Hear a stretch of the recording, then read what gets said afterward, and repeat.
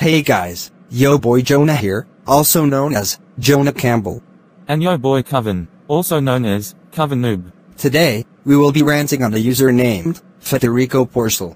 Note, to anyone who likes this user, we strongly suggest that you do not trust him, because he is a huge bully to us. However, we can still handle your opinion on him as long as you can handle ours. But anyway, enjoy this rant. Federico Porcel?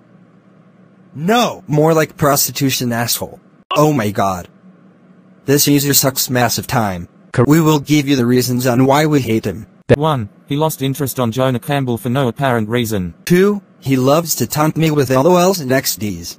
3. He suggested on Jonah's movie having a G rating, when it's actually going to be rated R. 4. He mocks people.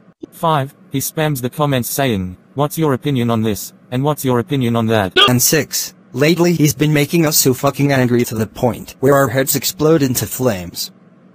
We really cannot deal with his stupid bullshit anymore. If it continues, we will eventually kill ourselves because of him. We don't want that.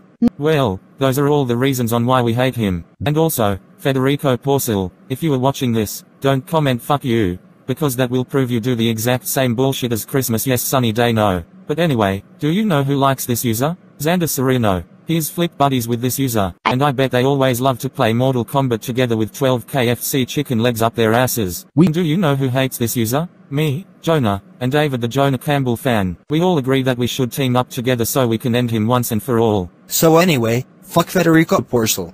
And fuck Kenny the Christmas yes sunny day no hater. PewDiePie is 30 million times better than Federico Porcel.